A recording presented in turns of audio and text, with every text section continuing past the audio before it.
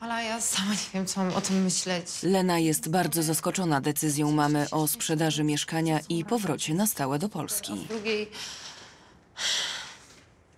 Ja lubię to mieszkanie, mi się tutaj dobrze mieszka.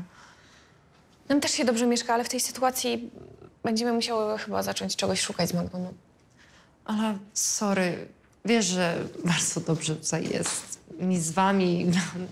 Jasne, że wiem. Tu... Słuchaj, tu nie chodzi o mieszkanie. Będziemy się dalej przyjaźnić. Tutaj się nic nie zmieni. Wiem, wiem. Nie, po prostu najważniejsze, że rodzice są razem, że są szczęśliwi. No, Tata się zmienił. Tak. no i to jest ekstra. Chłopie, ale ja muszę... Słuchaj, muszę mieć te pieniądze na dzisiaj, rozumiesz? Tak, muszę uciekać z Polski. Co? Nie, na dłużej. A dajże spokój, byłem w banku, no i co? No i nie dawno przecież. E, w Totolotka też nie wygrałem. Jesteś moją ostatnią deską ratunku, no Zbyszek.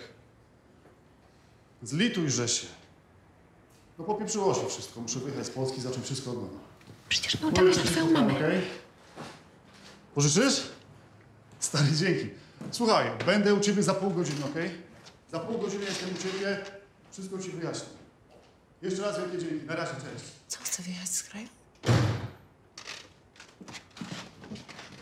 Ale ja tego nie rozumiem. Przecież, przecież mama miała wrócić z Londynu tutaj do Polski, do niego. A gdzie on, gdzie on chce jechać za granicę?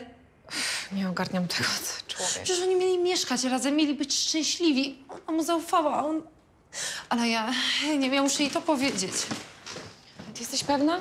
Tak, jestem. Nie, nie jestem pewna, nie wiem, nie wiem. A jak, jak się załamie... Cholera jasna. Boże, jaka jest... Ach, że mu uwierzyłam w to wszystko.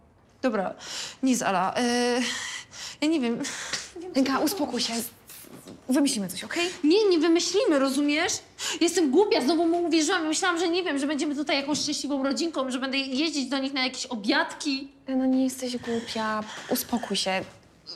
Sorry, nie, ale ja mu zaufałam, moja mama mu zaufała znowu.